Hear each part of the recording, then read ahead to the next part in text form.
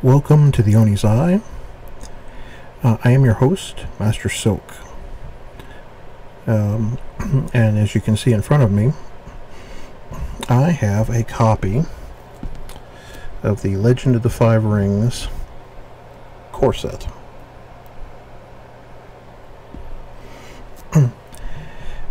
and we are here tonight to talk about um, give a review of the core set. So Fantasy Flight Games has gifted us with a copy of the yet to be released uh, Legend of the Five Rings, the card game core set. And uh, you can see I have not opened it yet. We are fixing to do that right now on stream, so come check it out.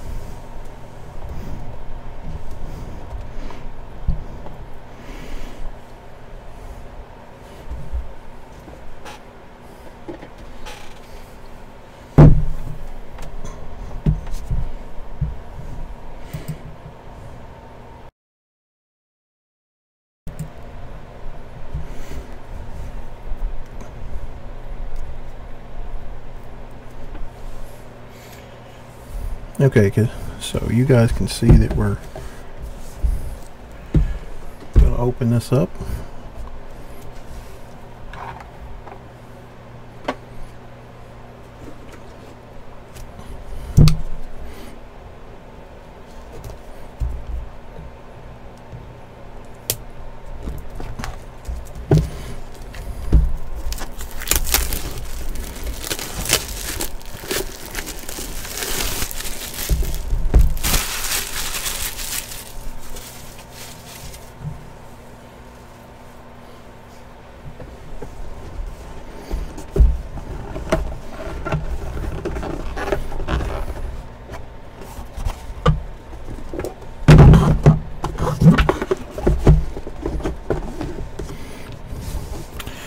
The normal Final, Final uh, Fantasy Flight Games uh, booklet of uh, other items that they have. Pretty standard. A full color learn to play document.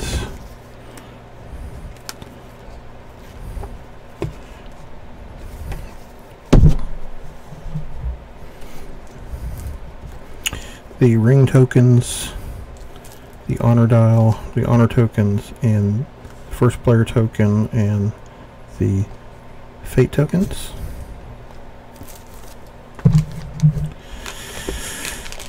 And then inside the middle, we have the the honored card and the Dishonored, which are on the back of one another.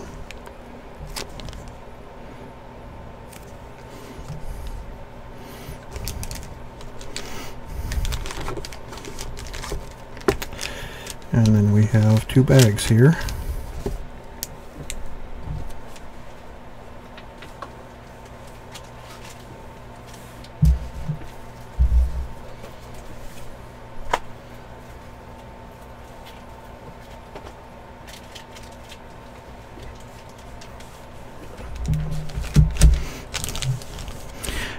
This is what the players are really wanting to see. They're wanting to see what these are.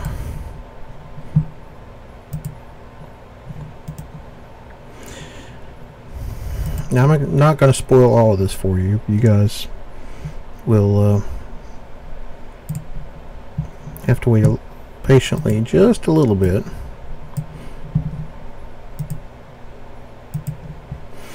But in, I've, in, I've intentionally done this so that uh, you guys can see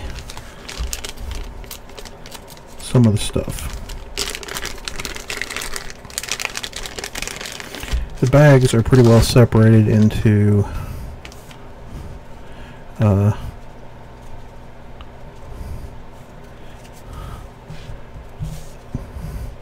the cards that are the non-dynasty cards and non-fate cards.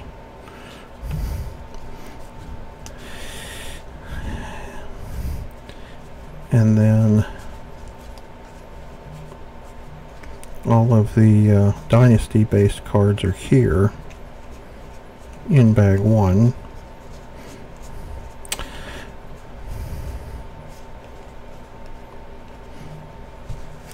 Now this is going to be awful telling.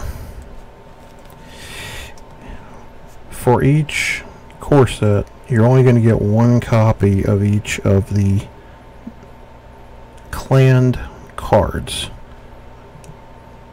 Whether that's Dynasty or Fate.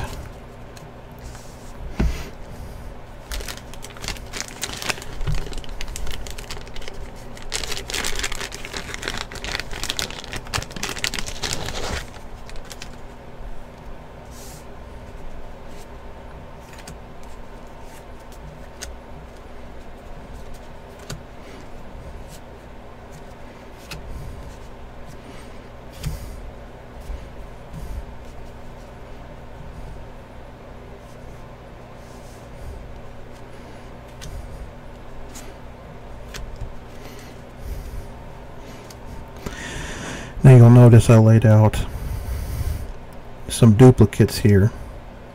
Uh, Otomo Courtier, Seppun Guardian, uh, Keeper Initiate, Miya Mystic, uh, Seeker Initiate, Wandering Ronin, uh, Favorable Ground, and Imperial Summons. Uh, these are the only conflict, or only dynasty cards that you get multiples of in a core set. Um, they sort of help fill the role of the other cards uh, out of the box to help you be able to build to learn to play decks. Um, obviously, the um, the the play out of box out of the box rules is uh, 30 card dynasty, a 30 card fate uh, uh, deck five provinces, a stronghold, and a keeper seeker to be able to play. So these are the only ones that you have duplicates of in the dynasty cards. Uh, most of the characters are three O's, um, except for the keeper and the seeker initiates, because unfortunately they're um, restricted by what type they are.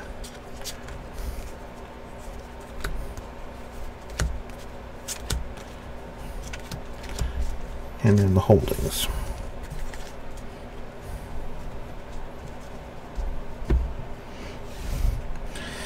Very similarly, you get one copy of each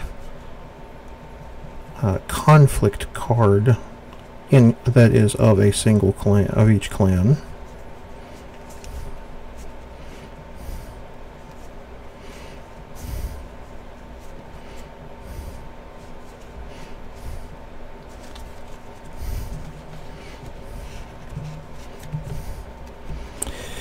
Then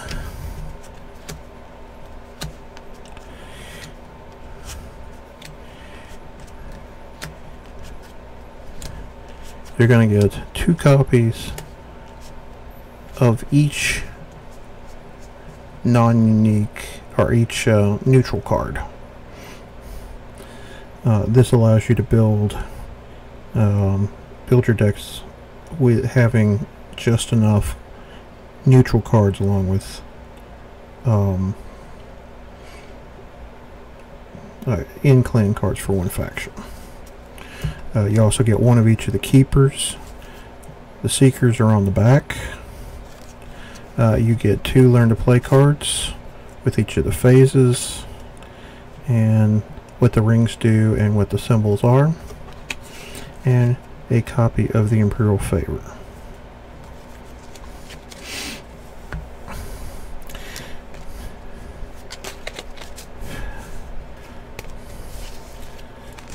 So for those of you who maybe have never played The Legend of Five Rings, who want a little more um, understanding, um, you represent one of seven great clans. Um, I will have all of the uh, links to the uh, way ofs in the in the uh, document below. Uh, each clan is represented by a stronghold. There's one for each of the seven clans at this time in the Imperial histories. Uh, specifically, um, those who may have played the original game, uh, we have started at a point before um, uh, the death of Hantei 30, the 38th.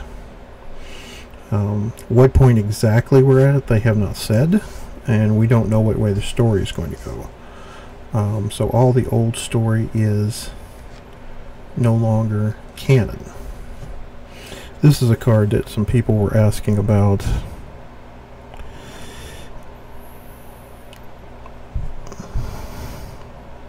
This is the Scorpion Stronghold. It uh, reads, if you are less honorable than your opponent by the stronghold, take one honor from that player. Um, that's the only stronghold that has not been uh, revealed. so, what are the differences between um, this version of the game and the new and the old version?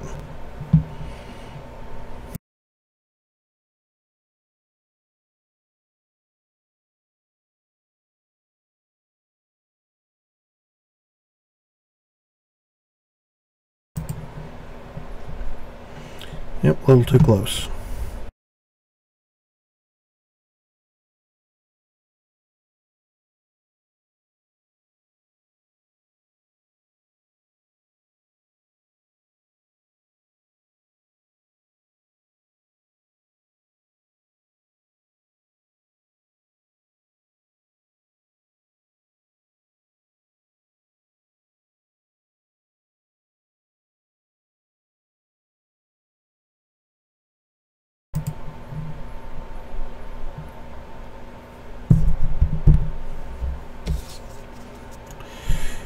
You can see here this is one of the honor dials. It's very well constructed.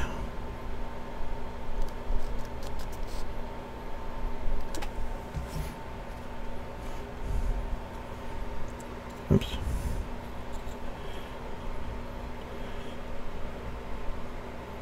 the political side of the void token and the military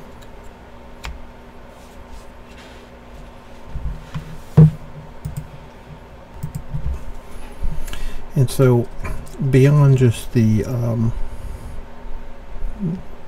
the tokens and the the well the the artwork, um, which is fantastic.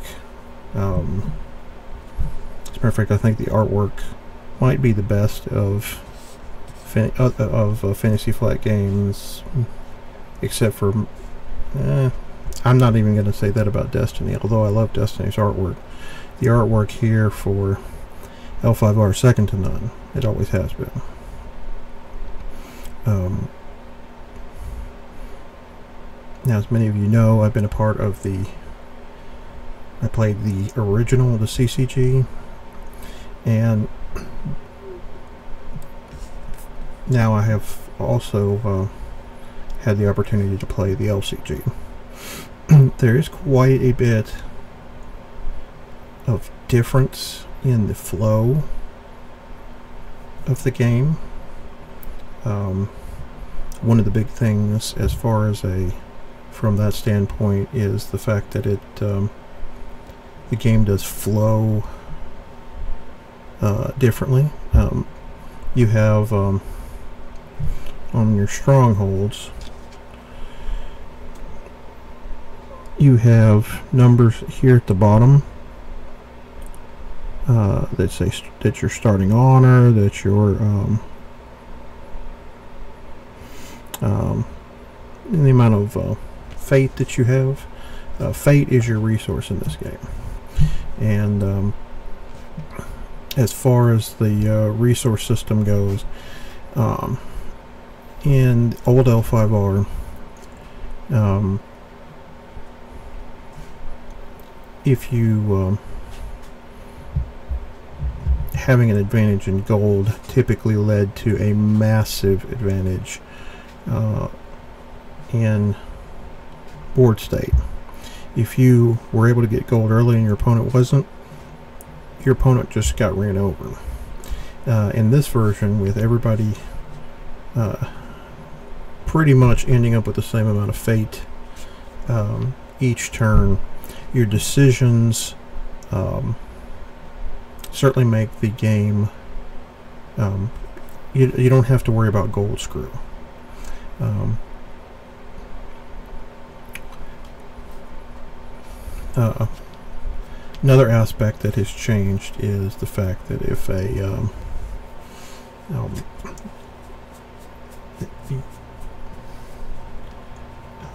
when you uh, lose when you lose a battle um, not all your people are destroyed. Now that was one of the biggest one of the bigger drawbacks to the old L5R was the fact that if you lost a con if you lost a battle anybody that any card that was at that battle was destroyed. Um, and so you had to be very careful about what battles you got into. In this version um, they actually there's actually a punishment if you don't have anybody that defended uh, the province um, at the uh, the end of the battle. If there's nobody left there at the battle, then uh, you lose an honor. Um, so, um, uh, but if you even if, if you put people in the in the battle, they're not destroyed. Um, uh, if you lose, um, that's sort of the big difference. Um, that's where if you can't destroy people through uh, normal actions or through most normal actions or through uh, losing a, a, battle how do you how do you destroy people? Well that's what the fate tokens are for. For each character that you play um, you you may um, spend extra to put a number of fate onto them equal to them, that amount of extra you paid. So let's say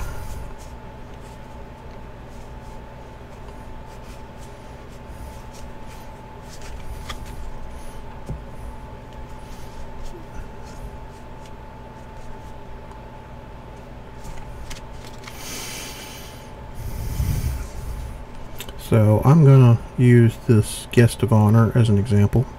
Uh, its cost is 4. Oops, on the corner. Um, so I can pay 5. If I pay 5, uh, she'll get an extra fate on her. Uh, so you have so what to, what that does is it means that you have some sort of uh, you have some control over how long your character stays around. Um, if you don't put any fate on it, you know, so each turn after um, the phases go uh, Dynasty, which is kind of backwards the way we're used to it. It goes Dynasty, Draw phase, Conflict phase, Fate phase, and Regroup phase. During the Dynasty phase, uh, players go back and forth playing characters um, from their uh, provinces and actions from their hand or from in play uh, until both players pass success uh, consecutively. Um, there is even a lot of play in that because if you're the first player if you are the first player in a game uh, you get to take the first action during each phase. However um, it can be just as important to be able to take a be the second person playing because you get to see what your opponent does and then you get to do make your play. And there's a lot of play just in the dynasty phase itself. Uh, once once each player passes we go to the draw phase. And unlike most games where you only get to draw one card during this phase or sometimes two depending on what game you're playing um, that's the the honor dial comes into play here. And uh, what happens is each player will secretly bid a number place it face down on the table and then they will reveal their their number to each player. Uh, in this case I'm showing a 4 um, so this is the number of cards that I would draw this turn. Now, depending on what my opponent has bid, if my opponent bids a 5, then he is acting more dishonorably than I am. He's trying to win at all costs. So there's a difference between those two. 5 minus 4 is 1. So my opponent would have to give me one honor. But let's say my opponent bid one instead of five. Now I'm acting more dishonorably than he is. He gets to draw one card, I get to draw four cards, so I am refilling my conflict hand. Um, but in doing so, I also have given him three honor. So it's a tight rope, rope that you have to walk about how many cards you want in hand and exactly what you want to do uh, with your honor. Uh, now in this game, uh, the, each of the clans start at either 10, 11, or 12 honor. Uh, the uh, to win a game, uh, you can win a game by honor, same as the old CCG. Uh, to win, uh, you have to be at 25 honor. It's an immediate win if you if a player hits that number. If uh, if a player's honor drops to zero, they lose the game via dishonor. And it's also an immediate uh, immediate um, ability. So what happens? So now that we've gone through those two phases what we go to next is the conflict phase. That's where we would um, attempt to attack back and forth uh, each province including the strongholds have a face down card on them these are province cards. Uh, they have an element in the bottom left hand corner. They have a province strength and they have a game text. This card is face down normally when they when they're at the beginning of the game, so you don't know what it is when I, you attack it. It is turned face up at that time and this sort of symbolizes well you don't happen you don't really know what your opponent has what traps your opponent has set there. So um, it's uh, very flavorful. Um, you will be battling not only over provinces but over the elemental rings. Each of the five rings has a different ability and each ability um, affects the game in different ways um, the uh, each time a battle is won, uh, whichever ring is selected, the winner of the battle gets that ring. Um, in the case of uh, uh, the attacker is the only one that gets to trigger the ability of the rings. Normally. Uh, there are two sides to these rings. There is a military side in red and a political side in blue. Each um, each character in the game, besides cost, they also have a military number and a political number. They're also the same color as uh, the uh, as the uh, the rings. They also have a glory number, um, which can add or subtract to their stats based on uh, if they're honorable or dishonorable. Um,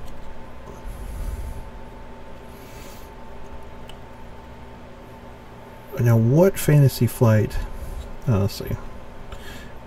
Uh, each player can um, each player can declare uh, two conflicts a turn, one military, one political. If they skip a uh, if they skip um, a conflict, they pass on taking a conflict. They cannot come back. Uh, they cannot take that conflict later on in the turn. Once it's skipped, it's skipped.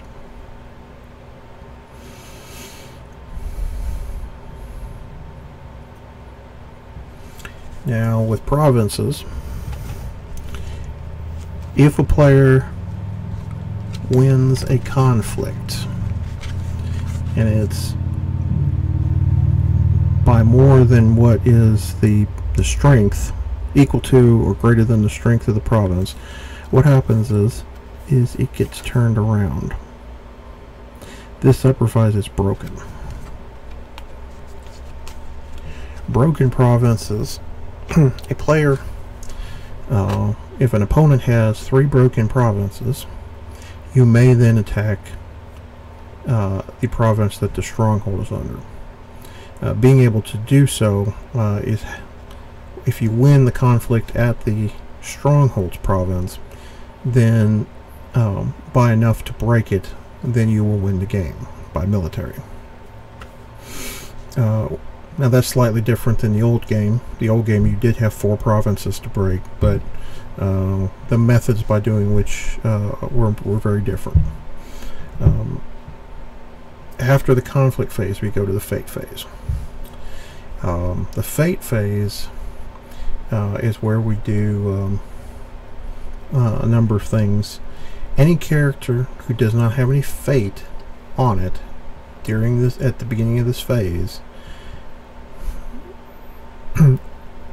are discarded from play. Then, each character with fate on them has one fate removed from each character.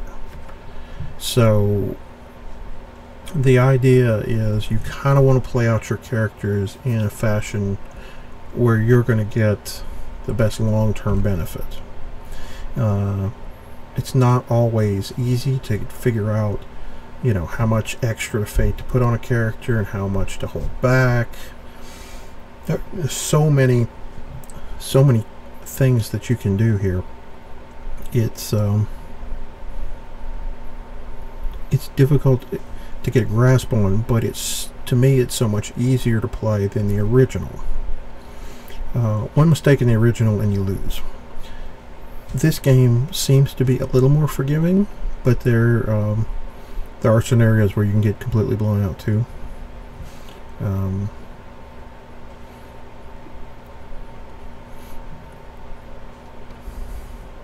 um, also during the fate phase, uh, any rings that were won during the uh, conflict phase are uh, the um, the the rings that were not contested were not claimed uh, during the conflict phase will each get a fate put on them, and then all the other rings will return to the to the ring pool uh, to be used again during the next turn. Um, and during the regroup phase, you'll each player will uh, discard any cards they don't want in their provinces, refill them face down, and then they get to straighten all the cards in play, pass the first player token, and start the next turn. Now that's a lot to go over in just a couple of minutes. Uh, but as far as the flow and the fun factor, uh, the from the flavor aspect, FFG has done a fantastic job. Uh, there are some things that I loved about the old game that I will not get an opportunity to do in the new game. Um, but from a design standpoint, they've done a very good job making each of the clans feel like uh, uh, that they've been designed uniquely, that they have their own strengths, they have their own weaknesses, um, and we won't know the actual uh, strength of how all of them are um, as far as power level until we actually get more into constructed play but I think we'll get some idea of how this will work out uh, during the um, uh, Chrysanthemum Festival at Gen Con. Um, I am will be lucky enough to be a part of the uh, the program, uh, although not as a player. I will be there as a judge. Uh, you will be, probably see me wearing a very ridiculous costume, but um, it's uh, rather nice uh, to be able to do something like this. Um, I think um, uh, the look and the feel of the game is fantastic. Uh, if you are a fan of the old game, um, even if you're not even if not everything is to your liking I still I still implore you to at least demo it try it um, because they have done a, a, wonderful job of trying to get uh, all of the flavor and um, of the old game into this game without having to scrap everything very difficult to do, and I think um, Brad, Nate, and Eric did a fantastic job on it. Um, if you um, never got the opportunity to play the original, or maybe you were just a fan of the RPG because you, know, you enjoyed seeing the story, talking about the story, um, yeah, it's it's definitely worth a try.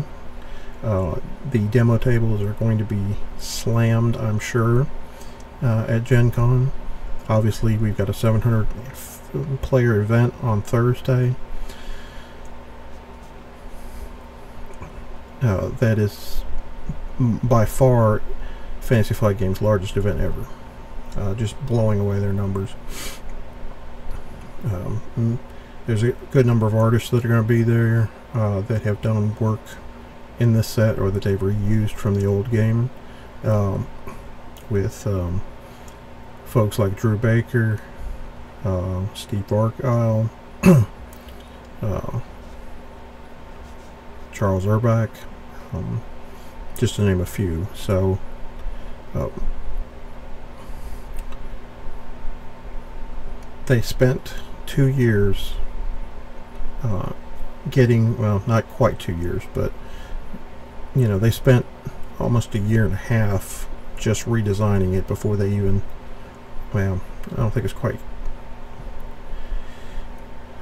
year and four months redesigning it before they even let beta testers touch the game. Um, balance is really the only question. Um, but everything else certainly is there. This could be their best base set ever, or best core set ever. Um,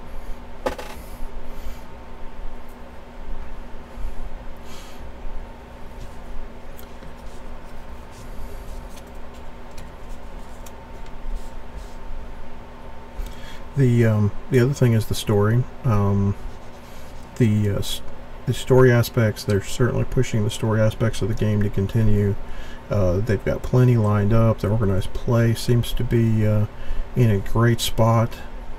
Um, much better than the other games simply because they have more control, which is very nice. Um, so um, don't um, uh, don't discount what you can do uh, in this game or continue to do. Um, I think there will be less of what uh, AEG did as far as story story prizes and um, because they got they really got to the point that they couldn't keep up with what they were giving out uh, and that's sort of where uh, where it ended up um, if you if you have um, if this world or the idea of um, um, you know um, Asian history or culture um,